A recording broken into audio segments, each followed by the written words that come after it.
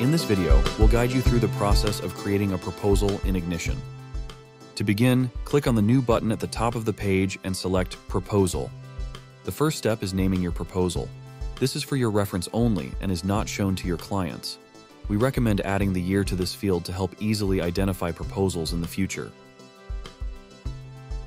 Next, select the client the proposal is for. If your client isn't already in Ignition, you can create a new client record from here, or connect your accounting software and sync your existing client data to Ignition. For this example, we will use the demo client, Space Ranger. From here, choose the date you'd like the proposal to begin, either as soon as your client accepts or on a specific date. The proposal start date can be thought of as the date when both parties agree to be bound by the terms and conditions of the proposal. You must also set the minimum contract length. This should reflect the minimum amount of time you expect to be providing these services to your client and the time frame that the current pricing will be valid for.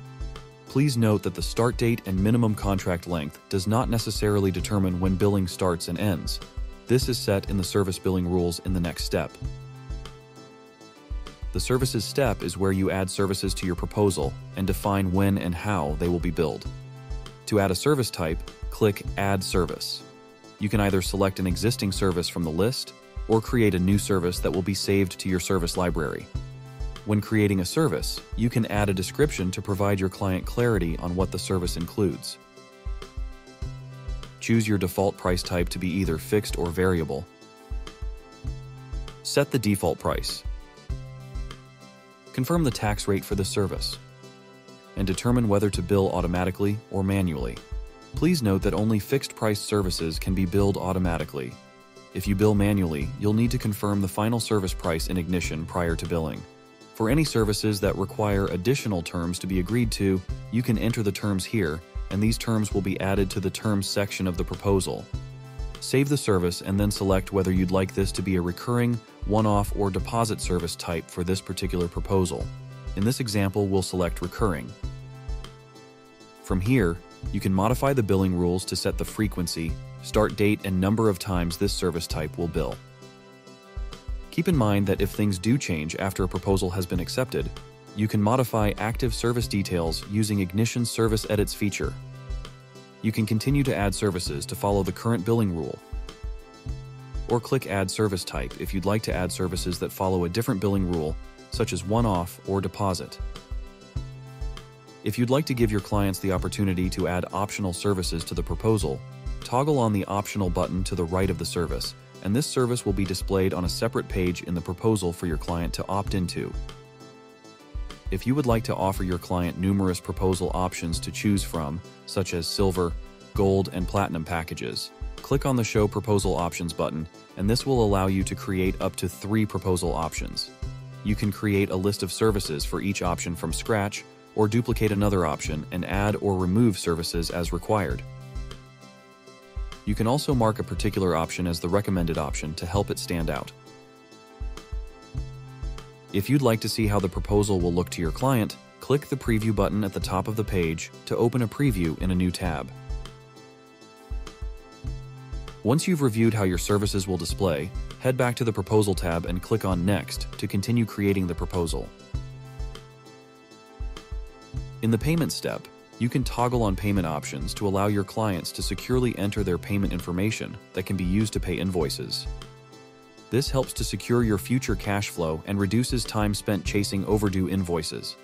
You can choose which types of payment method you will accept, and whether or not to require payment details to be entered before a proposal can be accepted by your client. If you have connected your accounting software, Ignition can also automatically reconcile payments processed via Ignition. Now let's continue on to terms. This step is where you choose the terms and conditions that your client will be agreeing to when they sign the proposal. All Ignition accounts come with one legally vetted generic terms template titled Industry Standard Engagement Terms. While you can use the terms as is, we recommend that you review the terms, edit as required, add any company specific information, and get it signed off by a legal professional prior to using them in a proposal. To make changes to the template, click Edit. Make the required amendments, and then click the Save button. You can also easily create new terms from scratch or copy and paste existing terms that you already use by clicking Add Template. You can use placeholders to replace dynamic text fields, such as client name and address, so that this information will automatically be synced into the terms from the data stored in the client record. Once you've added your terms and named your template, press Save Template, and these terms will be added to your Terms template library. Let's move to the final step of the proposal creation process. The presentation step allows you to add custom messaging, insert a video, upload a brochure, adjust how services and pricing is displayed, and select the email template you'd like to use to send your proposal. The introduction page section allows you to add a customized introduction message that will display on the first page of your proposal. You can save time by creating introduction message templates and using placeholders to dynamically populate client details in your messages. You can also add a link to a video and upload a brochure. If you upload a video, it will appear above the introduction message on the first page of the proposal, and the brochure will display on the second page. The pricing page allows you to adjust how your pricing will display to clients. The right-hand side of the page shows you a dynamic preview of the proposal that will change depending on the toggle selection. You can add customized message templates and a video to the next steps page of your proposal, which will display after your client has signed and accepted the proposal. You also have the option of selecting a specific proposal email template that your client will receive with the link to their proposal. Click Preview to see the details of the email that your client will receive. To customize these emails, head to the email section of your templates library in Ignition. Once you're happy with the presentation, you can go ahead and either Send the proposal to your client via email. Generate a shareable link to the proposal. Accept the proposal on your client's behalf. Move the proposal to an awaiting acceptance status, which will create the proposal but not email your client a link to the proposal. Or click Save and Close if you're not yet ready to finalize the proposal.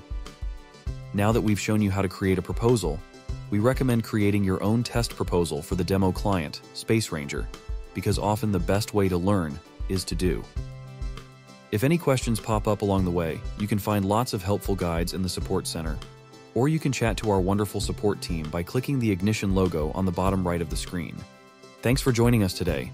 We hope this video has given you the confidence to send your first proposal and kickstarts your journey to running a more efficient and profitable business.